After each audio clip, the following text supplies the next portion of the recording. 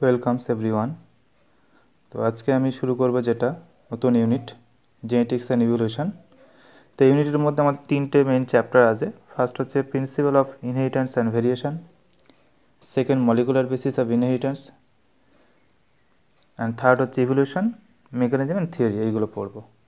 তো ফার্স্ট চ্যাপ্টারের আমাদের যেটা আছে principle of inheritance and variation তো সেটা শুরু করা যাক। তো ফার্স্ট আসছে আসছে আমাদের জেনেটিক্স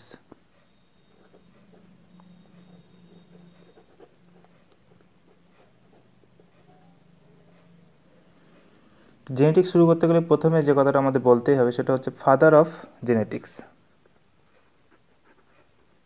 father of genetics আমরা জানি Gregor Johann Mendel he was born on অর্থাৎ বার্থ ইয়ার যদি আমরা দেখি eighteen twenty two and death year মানে died on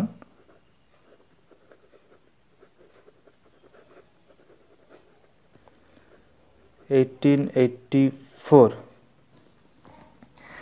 তিনি তার জীবনকালে প্রিস্ট মানে ধর্মযাজক হিসেবে চার্চের দায়িত্বে ছিলেন এবং সেই চার্চের যে মাঠ ছিল, সেই মাঠে, খোলা মাঠেই তিনি মটর চাষ করেছিলেন এবং সেই মটর গাছ চাষ করতে করতে তার উপরেই ছ বছর ধরে এক্সপেরিমেন্ট করে বংশগতির বিভিন্ন তত্ত্ব তিনি দিয়েছিলেন। তো he works on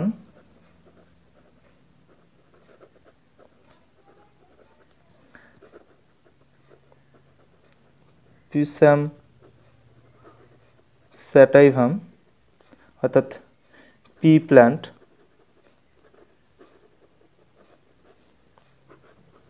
for six years and given the theory of inheritance. বংশগতির বিভিন্ন থিওরি তিনি দিয়েছিলেন। কিন্তু দুর্ভাগ্যের বিষয়, তিনি জীবিত থাকা অবস্থায় তার সেই কাজ বা তার সেই থিওরিগুলো অ্যাকসেপ্টেড হয়নি। তার মারা যাওয়ার ষোলো বছর পরে after sixteen years of his death three scientist তিনজন বিজ্ঞানী, মেনেল এই থিওরিগুলোকে আবার রিডিসকভার করেন। এই তিনজন বিজ্ঞানী হচ্ছেন Hugo de Vries Correns and Tschermak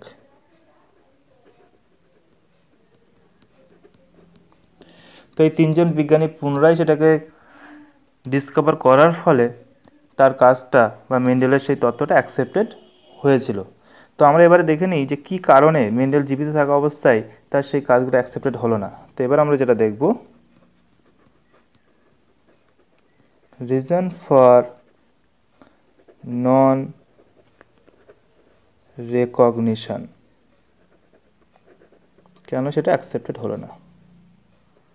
তো ফার্স্ট কারণ আমরা যদি দেখি, সেটা হচ্ছে যে his work was not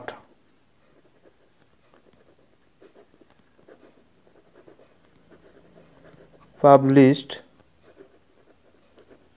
properly তাহলে তার কাজ প্রপারলি পাবলিশড হলো না। তো এটা থেকে কি বোঝাচ্ছে?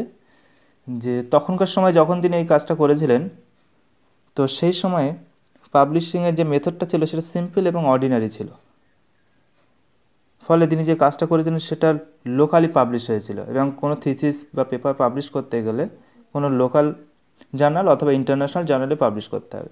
লোকাল জার্নালে পাবলিশড হলে সেটা লোকালি মানুষ জানবে, কিন্তু যদি ইন্টারন্যাশনাল জার্নালে পাবলিশ হয় তাহলে গ্লোবালি সবাই সেই তত্ত্বটা বা সেই বিষয়টা জানবে। কিন্তু সেই সময় তিনি ইন্টারন্যাশনাল জার্নালে পাবলিশ করতে পারেননি, ফলে মেন্ডেলের সেই কাজটা লিমিটেড থেকে গেছিল মানে সবার কাছে পৌঁছাতে পারেনি। সেকেন্ড কারণ হিসেবে যদি আমরা দেখি, যে, তো সেকেন্ড কারণ বিষয়ে যেটা আমরা দেখব সেটা হচ্ছে মেন্ডেল নিজে একজন ম্যাথমেটিশিয়ান ছিলেন। ফলে বায়োলজিস্টরা সেটাকে অ্যাকসেপ্ট করো না। ফলে biologist did not accept his work. তো কারণটা হচ্ছে নিজে যেহেতু ম্যাথমেটিশিয়ান এবং বায়োলজির তত্ত্ব তিনি দিচ্ছেন, ফলে বায়োলজি যারা ছিল তাদের সেই কাজটাকে কোনো রকম গুরুত্ব দিল না নেগলেক্ট করল। আর একই সঙ্গে যদি দেখা যায়, সেই সময়ে ডারুইনের তত্ত্ব পাবলিশড হয়েছিল, ফলে ডারুইন নিয়ে ডারুইনের সেই তত্ত্ব নিয়ে চারিদিকে হয়ে হয়ে পড়ে যায় এবং সবাই সেটা নিয়েই ব্যস্ত ছিল, ফলে মেন্ডেলের সেই কাজটা চাপা পড়ে যায়। আর থার্ড কারণ যদি আমরা দেখি, সেটা হচ্ছে তিনি ফ্যাক্টরসের কথা বলেছিলেন ফ্যাক্টরস যেটা বর্তমানে আমাদের জিন বলে পরিচিত, সেটা হচ্ছে ডিসক্রিট ইউনিট তিনি বলেছিলেন ফ্যাক্টরস বা জিন যেটা, সেটাই হচ্ছে জেনারেশান টু জেনারেশান মানে একটা জেনারেশান থেকে নেক্সট জেনারেশানে বংশগত বৈশিষ্ট্য যেগুলো আছে মানে হেরিডিটিক্যাল ক্যারেক্টার যেগুলো আছে, সেগুলোকে ট্রান্সফার করে। কিন্তু তিনি যে সময় ফ্যাক্টরের কথা বলেছিলেন সেই সময় মাইক্রোস্কোপিক যত ওয়ার্ক যদি আমরা বলে থাকি, বা সেল সেল বায়োলজি এইসব বিষয়ে মানুষ বা সায়েন্টিস্টরা তেমন কিছু তথ্য তখনও ডিসকভার করতে পারেনি। ফলে মানুষের কাছে ক্রোমোজোম ডিএনএ সব অজানা। ফলে সেখানে ওই সময় দাঁড়িয়ে তিনি জিনের যে চিন্তাটা করেছিলেন বা ইমাজিন করেছিলেন, সেটা সবাই উড়িয়ে দিল। ফলে তার সেই কাজটা সেই সময় বা তিনি জীবিত থাকা অবস্থায় কিন্তু রেকগনাইজড হলো না। ফলে তিনটে কারণ এখানে উল্লেখ করা হয়েছে। একটা হচ্ছে প্রপারলি তিনি পাবলিশ করতে পারলেন না বায়োলজিস্টরা তাকে অ্যাকসেপ্ট করল না, কারণ তিনি নিজে ছিলেন যেহেতু একজন ম্যাথমেটিশিয়ান আর থার্ড হচ্ছে ফ্যাক্টার্সের কথা তিনি যখন বলেছেন যেটা আমরা বর্তমানে জিন হিসেবে জানি, তাহলে তখন ক্রোমোজোম ডিএনএ তো সেই সব কোনো তত্ত্ব আবিষ্কৃত হয়নি, ফলে ফ্যাক্টার্সের তত্ত্বটাকে সবাই উড়িয়ে দিল, ফলে সেটাকে অ্যাকসেপ্ট করল না। তাহলে এই গেল কেন তার কাজগুলো অ্যাকসেপ্টেড হলো না? এবার আমরা যেটাতে আসব, সেটা হচ্ছে যে ওই তিনজন বিজ্ঞানী তার মারা যাওয়ার ষোলো বছর পরে মানে in nineteen hundred in nineteen hundred rediscover the theory of Mendel তাহলে মেন্ডেলের সেই থিওরিটাকে ডিডি স্কোয়ার হলো উনিশশোতে এবং এই তিনজন বিজ্ঞানী সাহায্য করেছিলেন। তারা হচ্ছে Hugo Vries Correns and Tschermak তাহলে এর, তারা সেই কাজটা করার পর মেন্ডেলের কাজটা অ্যাকসেপ্টেড হয়েছিল এবং কেন অ্যাকসেপ্টেড হয়েছিল আমরা তাহলে এবার দেখব। যদিও তার মৃত্যুর পরে তো দেখি reason for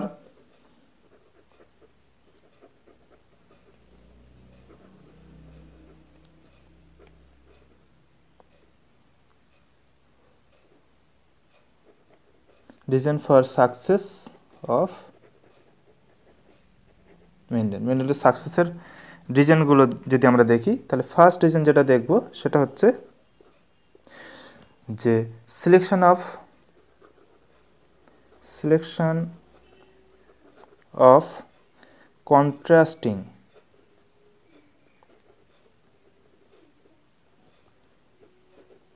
characters তিনি কন্ট্রাস্টিং ক্যারেক্টার্স সেইগুলোকে সিলেকশন করেছিলেন। তো কন্ট্রাস্টিং ক্যারেক্টার কি?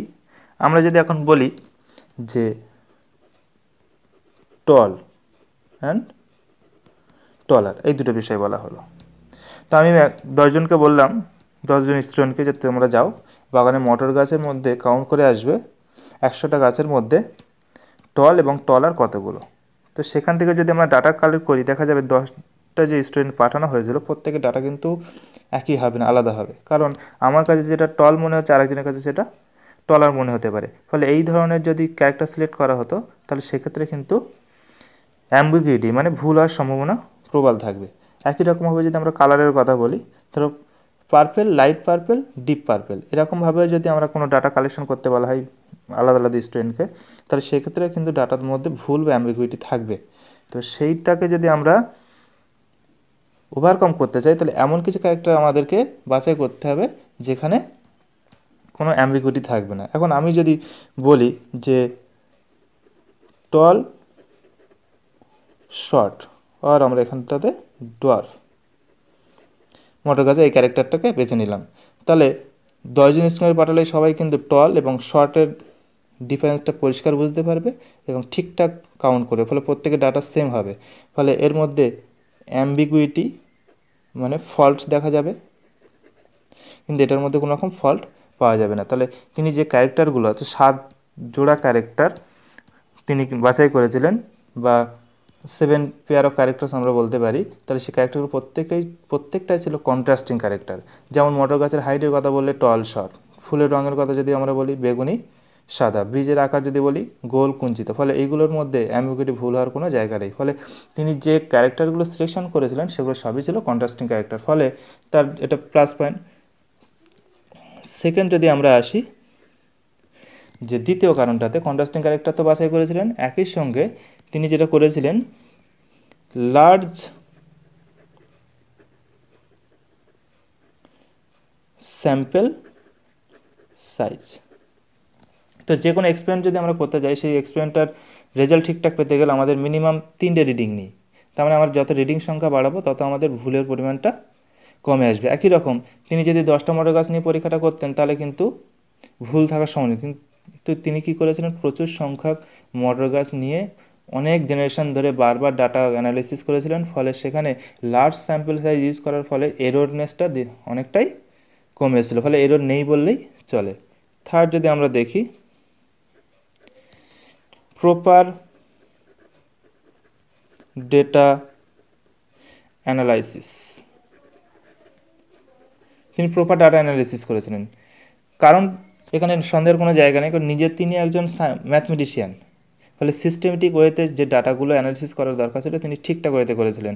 ফলে প্রপার ডাটা অ্যানালিসিস করার জন্য তার কাজটাও সাকসেসের দিকে এগিয়েছিল আর তারপরে ফোর্থ কারণ আমরা যদি দেখি, তাহলে এটা বাই চান্সও বলতে পারি অথবা তিনি পারপাসফুলি হয়তো এটা করেছিলেন, কিন্তু সেটা তো আমরা জানি না। তো no use of linkage no use of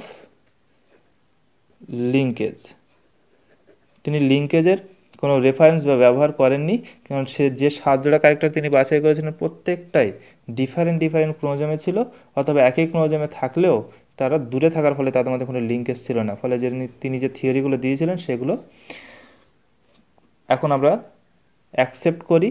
এবং একদম ঠিকঠাক মানে টিল ডেট এখনও পর্যন্ত সেই প্রিন্সিপালকেই কিন্তু আমরা মেনে চলছি। পরবর্তীকালে হয়তো লিঙ্কেজের ডিসকভারি হয়েছে, এটা একটা ব্যতিক্রম মেন্ডেলিজমের তো এই হচ্ছে যে কেন তিনি সাকসেস হয়েছিলেন, তাহলে প্রথম অবস্থায় গেগে জন মেন্ডেল মোটর গাছের উপর সব বছর ধরে কাজ করেছিলেন, কিন্তু ষোলো বছর, তার মারা যাওয়ার ষোলো বছর পরে তিনজন বিজ্ঞানী তার সেই থিওরি রিডিসকভার করার পরে অ্যাকসেপ্টেড হয়েছিল।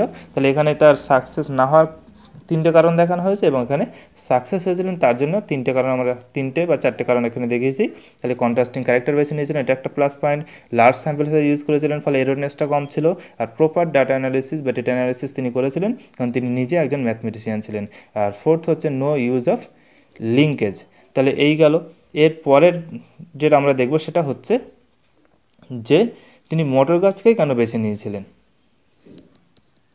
Reason for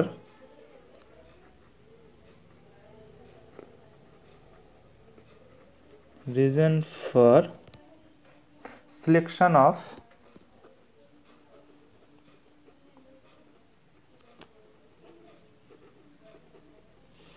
pea plant. অথবা বলতে পারি why did he select the pea plant কেন এবার তিনি মটর গাছটাকেই বেছে নিলেন? তাহলে আমরা সেই কারণগুলো দেখি। তাহলে প্রথমত বলতে পারি লাইফ সাইকেল যদি আমরা দেখি পি প্লান্টের লাইফ সাইকেল লাইফ সাইকেল হচ্ছে থ্রি টু ফোর উইকস তাহলে তিন থেকে চার সপ্তাহ হচ্ছে লাইফ সাইকেল তাহলে আমি তিন থেকে চার সপ্তাহ পরেই নতুন একটা জেনারেশন পেয়ে যাব। তাহলে সেখানে, অল্প সময়ের মধ্যে কিন্তু আমি ডাটা কালেক্ট করতে পারছি। এখন যদি আমি আম গাছ নিয়ে বা অন্য কোনো গাছ নিয়ে করতাম, এক বর্ষজীবী কোনো একটা গাছ, সেক্ষেত্রে আমাকে একটা বছর ওয়েট করতে হতো সেই ডাটা কালেকশনের জন্য। কিন্তু আমরা তিন থেকে চার সপ্তাহের মধ্যেই ডাটা কালেকশন করতে পারব। ফলে মোটর গাছকে বেছে নেওয়ারই একটা বড় কারণ। সেকেন্ড যদি আমরা দেখি, মটর গাছের ক্ষেত্রে self and cross pollination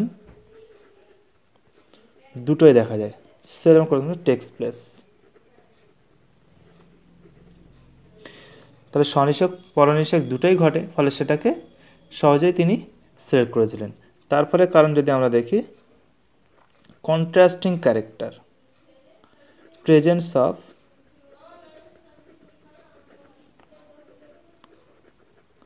contrasting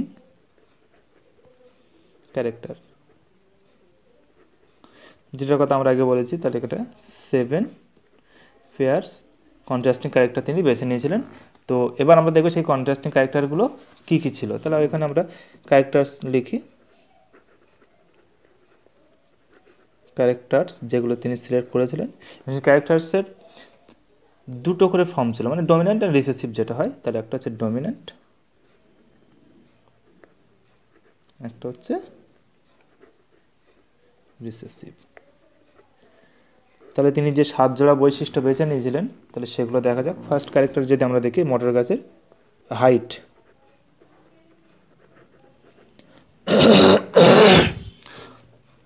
তাহলে হাইট যদি আমরা দেখি, তাহলে হাইট হচ্ছে টল হচ্ছে ডমিনেন্ট ক্যারেক্টার এবং শর্ট হচ্ছে বা ডোয়ার্ফ হচ্ছে রিসেসিভ ক্যারেক্টার সেকেন্ড যদি আমরা দেখি ফ্লাওয়ার পজিশন ফ্লাওয়ার পজিশন তাহলে এই ক্যারেক্টার যেটা তিনি বেছে নিয়েছেন, তার মধ্যে কন্ট্রাস্টিং কী ছিল দেখা যাক। তাহলে ফ্লাওয়ার পজিশন একটা হচ্ছে অ্যাক্সিলারি মানে কাক্ষিক আর একটা হচ্ছে টার্মিনাল। রিসেসিভ ক্যারেক্টার থার্ড যেটা নিয়েছিলেন সেটা হচ্ছে ফ্লাওয়ার কালার ফুলের রং যে বৈশিষ্ট্য তিনি বেছে নিয়েছিলেন, তাহলে ফুলের রং যদি আমরা দেখি, একটা ছিল পারফেল। আর তারপরে যদি তার রিসিভ ক্যারেক্টার যদি দেখা যায়, সেটা ছিল হোয়াইট। তাহলে পার্পল হোয়াইট, এই দুটোর মধ্যে কনফিউশনের কোনো জায়গা নেই। অ্যাক্সিলারি টার্মিনাল তার মধ্যে কনফিউশনের কোনো জায়গা নেই, বা টল শর্ট ফোর্থ যদি আমরা দেখি, তাহলে পড শেপ মানে ফল যেটা ছিল, সেই ফলের আকারটা কেমন ছিল? সেই শেপটা যদি দেখা যায়, একটা হচ্ছে ইনফ্লেটেড ইনফ্লেটেড আর যদি আমরা রিসিভ ক্যারেক্টারটা দেখি, তাহলে সেটা হচ্ছে তোমার কনস্ট্রিক্টেড কনস্ট্রিক্টেড তাহলে এই ইনফ্লেটেড তাহলে ইনফ্লেটেড বলতে কী বোঝাচ্ছে? তাহলে আমরা যদি ফলটাকে দেখি, তাহলে সেক্ষেত্রে ফলটা এরকম দেখতে হবে। আর যদি আমরা এই ক্ষেত্রে দেখি কনস্ট্রিক্টেডের ক্ষেত্রে, তাহলে ফলটা এরকম কনস্ট্রিক্টেড তাহলে এটা ডমিনেন্ট ক্যারেক্টার এটা হচ্ছে রিসেসিভ ক্যারেক্টার ফিফথ যদি আমরা দেখি, তাহলে পড শেপ ফলের রঙটা কেমন? তাহলে পড সরি পড কালার পডের কালারটা যদি দেখা যায়, তাহলে কালার নর্মালি গ্রিন কালার হয়, তাহলে এটা হচ্ছে ডমিনেন্ট ক্যারেক্টার অ্যান্ড তারপরে হচ্ছে রিসিভ ক্যারেক্টার যদি দেখা যায়, তাহলে সেটা হচ্ছে ইয়েলো সিক্স আসছে আমাদের সিড তাহলে ফার্স্ট সিড শেপ যদি আমরা দেখি, তাহলে একটা রাউন্ড এটা হচ্ছে ডমিনেন্ট ক্যারেক্টার একটা হচ্ছে রিঙ্কেল রিঙ্কেল আর সেভেন যদি আসে আমাদের seed colour. Seed colour, normal seed colour হচ্ছে yellow that is dominant character and recessive character হচ্ছে গ্রিন তাহলে তিনি এই সাত জোড়া কন্ট্রাস্টিং ক্যারেক্টার বেছে নিয়েছিলেন। তাহলে যে ক্যারেক্টারগুলো তিনি নিয়েছেন প্রত্যেকটাই দেখো কন্ট্রাস্টিং তাহলে কোনোটার সঙ্গে কোনোটাই অ্যাম্বিগুইটি বা ভুলিয়ে যাওয়া বা মিশে যাওয়া কোনো সম্ভাবনা নেই। ফলে এই কন্ট্রাস্টিং ক্যারেক্টার বেছে নেওয়ার জন্যই কিন্তু তিনি সাকসেস হয়েছিলেন। হয়তো তিনি জীবিত থাকা অবস্থায় সাকসেস পাননি, কিন্তু পরবর্তীকালে তিনজন বিজ্ঞানী সেটাকে রিডিসকভার করার পরে তার এই ডাটাগুলোর মধ্যে যেগুলো তিনি সিলেকশন করেছিলেন, সেগুলো এরকম কন্ট্রাস্টিং বা ক্যারেক্টারগুলো কন্ট্রাস্টিং হওয়ার কারণেই কিন্তু তার সাকসেসটা আলটিমেটলি হয়েছিল। আর ফোর্থ কারণ যদি আমরা দেখি seed do not show dormancy ডরমেন্সির সুপ্ত দশা। তাহলে প্রত্যেক গাছের বীজ একটা নির্দিষ্ট টাইম পর্যন্ত কিন্তু ডরমেন্সি কন্ডিশনে থাকে। ফলে সেখানে ফেভারেবল কন্ডিশন দাও, যাই দাও, সেক্ষেত্রে কিন্তু সিড জার্মিনেট করবে না। মানে অঙ্কুরোদ্গম ঘটবে না। একটা নির্দিষ্ট ঋতুতে বা সেই সময় না এলে। কিন্তু মটর গাছের ক্ষেত্রে সেটা না। ফলে সিড ডরমেন্সি হয় না, ফলে আমার দেখা যাচ্ছে এখন আমি চাষ করলাম এক মাস পরে সেই সিড নিয়ে আবার আমি রোপণ করতে পারব এবং সেখান থেকে অঙ্কুরোদ্গম ঘটবে। ফলে সিডের মধ্যে কোনো ডরমেন্সি দেখা যায় না সুপ্তদশা দেখা যায় না, ফলে খুব সহজেই আমি অনেক অল্প সময়ের মধ্যে ডাটা কালেক্ট করতে পারব। আর ফোর্থ ফিফথ যদি আমরা দেখি যে large number of seed production আমরা পার জেনারেশনও ধরতে পারি বা এমনিও যদি দেখি, তাহলে সেখানে প্রচুর পরিমাণে সিড জেনারেশন হয়। তাহলে অসংখ্য সংখ্যক যদি সিড জেনারেশন উৎপাদন হয়, তাহলে নেক্সট জেনারেশন নেক্সট জেনারেশন আমরা অসংখ্য গাছ পাবো বা প্লান্ট পাবো, সেখান থেকে ডাটাটা নিলে তাহলে স্যাম্পেল সাইজটা অনেক বেশি হবে, ফলে এরনেসটা অটোমেটিক কমে আসবে, যেটা তার সাকসেসের কারণ হিসেবে আমরা দেখেছিলাম যে লার্জ স্যাম্পেল সাইজ তিনি ইউজ করেছিলেন। তাহলে এগুলো হচ্ছে কারণ। এছাড়াও মটর গাছের অনেক সিলেকশনের কারণ আছে, কারণ খুব ইজিলি কালচার করা যায়। খুব বেশি মেনটেন্সের প্রয়োজন পড়ে না। তাহলে এটা হচ্ছে reason for selection of pea plant Pisum এখন তিনি কেনই বা সিলেকশন করেছিলেন, তাহলে ফার্স্ট হচ্ছে লাইফ সাইকেল বলা হয়েছে, কম সময় three to four weeks self and cross pollination দুটোই ঘটে। আর প্রেজেন্স অফ কন্ট্রাস্টিং ক্যারেক্টার সাত জোড়া, সেই কন্ট্রাস্টিং ক্যারেক্টারগুলো এখানে দেখানো হয়েছে। এবং কন্ট্রাস্টিং ক্যারেক্টারগুলো অবশ্যই আমাদের মনে রাখতে হবে। কারণ আমরা যখন ক্রসগুলো করব, তখন আমরা হয়তো হঠাৎ করে বললাম যে এক ফ্লার অ্যাক্সিলারি পজিশানে আছে এবং টার্মিনাল পজিশানে এরকম নিয়ে আমরা ক্রস করতে যাব। তাহলে তখন কোনটা ডমিন্যান্ট কোনটা রিসেসিভ এই তথ্যগুলো যেন আমাদের মাথায় থাকে। সেই জন্য এই সাত জোড়া ক্যারেক্টার যেটা আছে, প্রত্যেকের ডমিন্যান্ট রিসেসিভ যে ট্রেডগুলো আছে ট্রেডগুলো আমাদের মনে রাখতে হবে। আর তারপরে আসছে সিড যেহেতু ডরমেন্সি দেখায় না, ফলে আমাদের কালচার করতে কোনো অসুবিধা নেই। প্রত্যেক তিন থ্রি টু ফোর উইক্স পরে যখন বীজ উৎপাদন হবে, সেই বীজ নিয়ে আবার আমরা রোপণ করে আবার এক বছর মধ্যে আবার একটা ডাটা পেয়ে যেতে পারি। আর লার্জ সিড প্রোডাকশন যদি প্রচুর সংখ্যায় বীজ তৈরি হচ্ছে, ফলে সেখান থেকে আমার লার্জ স্যাম্পল সাইজ পাওয়া যাবে, ফলে এরনেস থাকবে না। তাহলে এই হচ্ছে কেন তিনি মটর গাছ বেছে নিয়েছিলেন এটা।